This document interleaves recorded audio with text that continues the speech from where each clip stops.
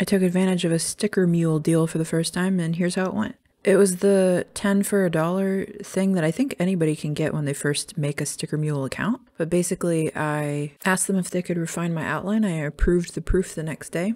They rounded out my uh, bunny whiskers, which I liked. It Took me six days to get in the mail. They sent me 12 instead of 10, which is pretty cool. I like the quality. They're matte and waterproof and they peel pretty easily. I sent them a high resolution PNG so they came out pretty clear. The cut was done better than I would have. These are 3 by 3 inches in size, well 3 by 2.96 because of the shape.